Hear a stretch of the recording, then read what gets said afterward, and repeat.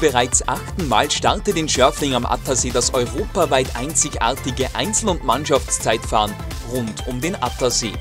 2018 geben wieder 1200 Radrennfahrer, vor allem aber auch die österreichische Elite im Rahmen der Radbundesliga, ihr Bestes. Die 47 Kilometer lange Uferstraße rund um den Attersee ist während des Rennens für den gesamten Fahrzeugverkehr gesperrt. Es herrschen also perfekte Rennbedingungen, da auch noch das Wetter super mitspielt. Vor einem Jahr hat hier an dieser Stelle die damalige Mannschaft Amplatz BMC die Mannschaftsbundesliga gewonnen. Heute ist Maybike Stevens ersatzgeschwächt äh, mit einigen Kranken, einigen Verletzten. Äh, Julian Gruber, wie siehst du die Ausgangsposition? Ja, es sind leider einige Ausfälle bei uns. Jetzt haben wir wieder zwei Mann verloren mit dem Gerd Fiedler und mit Max Kuhn. Und jetzt bin ich gesprungen halt, dass wir sechs Mann stellen können. Es wird sicher schwierig werden, aber das Ziel ist Top 3, ganz klar. Und wenn wir einen guten Tag haben, ist das sicher möglich. MyBike Stevens liegt auf dem siebenten Tabellenrang. Neben Julian Gruber sind Janosch Pelikan, Andy Beitz, Rob Korosec, Thomas und Andreas Umhaller am Start. Mit einer Zeit von 55,43 belegt das Team am Ende Platz 6.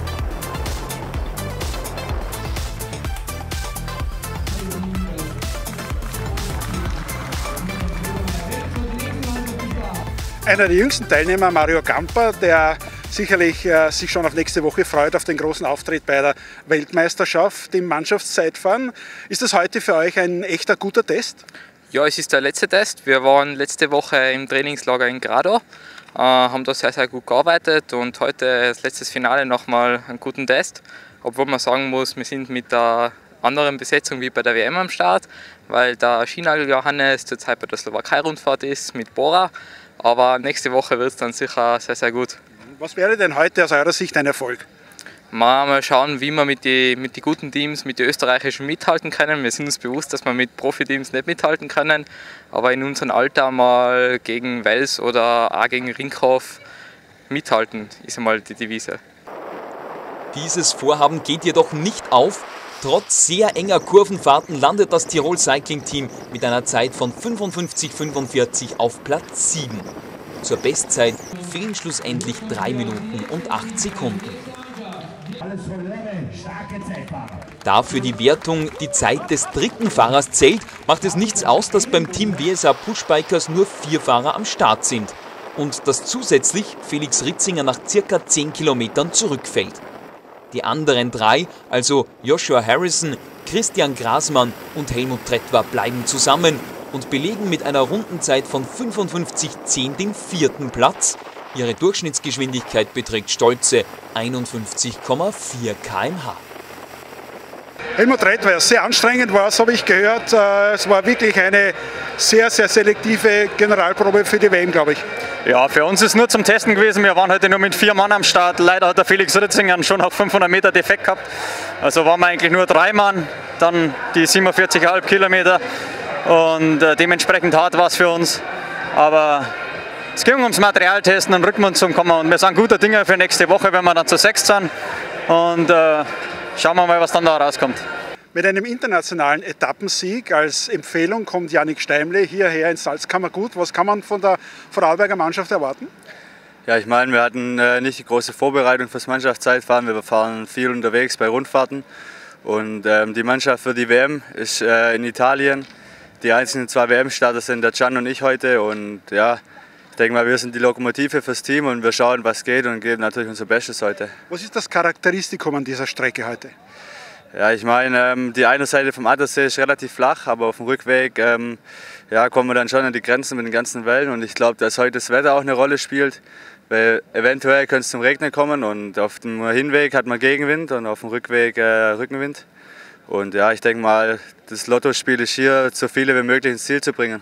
Als Dritte in der Gesamtwertung nimmt die Mannschaft aus dem Ländle die 47 Kilometer in Angriff. Jannik Steimle, Gian Friesecke, Johannes Hirschbichler, Manuel Bosch, Patrick Jäger und auch Martin Meiler wollen ihren Teamgeist zeigen. Jäger und Meiler verlieren schon nach sieben Kilometern den Anschluss an ihre Mannschaftsgefährten. Die anderen vier ziehen aber gemeinsam durch und bewältigen das Rennen in einem Schnitt von 52,2 km/h. Das Team Vorarlberg kommt nach 54-16 ins Ziel. Am Ende belegt die Mannschaft aus dem Westen damit Platz 3. Ja, für uns ist das eine schöne Überraschung. Es war richtig hart von Beginn weg. Wir haben sehr schnell zwei Mann verloren und das ist der Grund, wenn man zu viert ist, dann wird es viel härter. Jeder muss viel mehr Führung übernehmen. Und äh, insgesamt eine gute Generalprobe, dass man weiß, wo man steht vor der WM?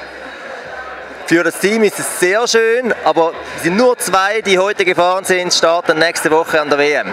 Ich nehme an, Andreas Hofer denkt gerne an das Vorjahr zurück. Da hat die Mannschaft von Rinkhoff Advarix nämlich völlig überraschend, muss man sagen, aber verdient gewonnen.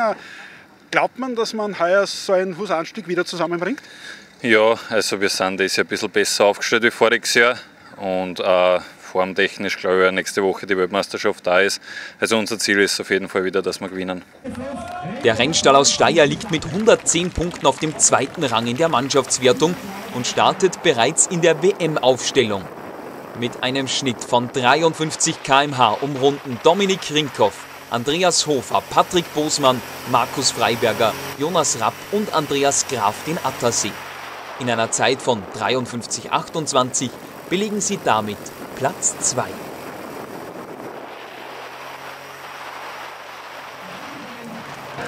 Andreas Graf, routinierter Bahnfahrer, Zeitfahrer. Wie war es denn aus Ihrer Sicht heute?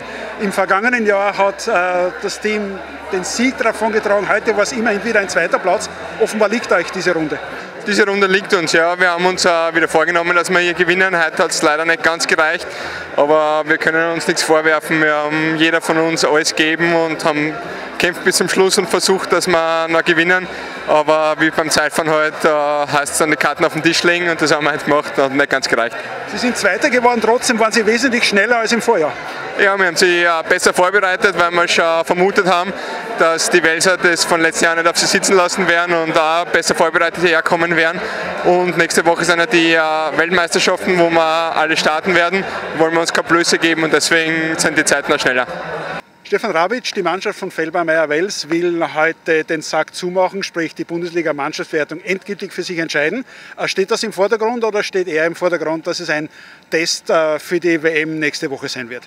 Ich glaube, es ist beides. Also ein Test für die WM und unter Anführungszeichen die Niederlage, was wir voriges Jahr gehabt haben, sollte man schon schauen. Also wir wollen das unbedingt heute gewinnen.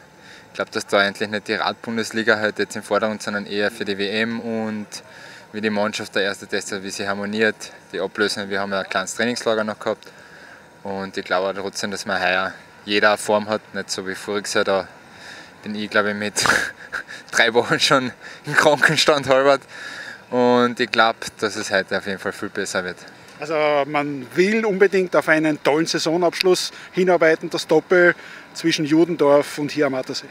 Ja genau, aber Judendorf ist sehr stark heuer besetzt. Also das wird kein leichtes Spiel, das ist glaube ich heute leichter, wobei jedes Rennen ist schwer zum Gewinnen.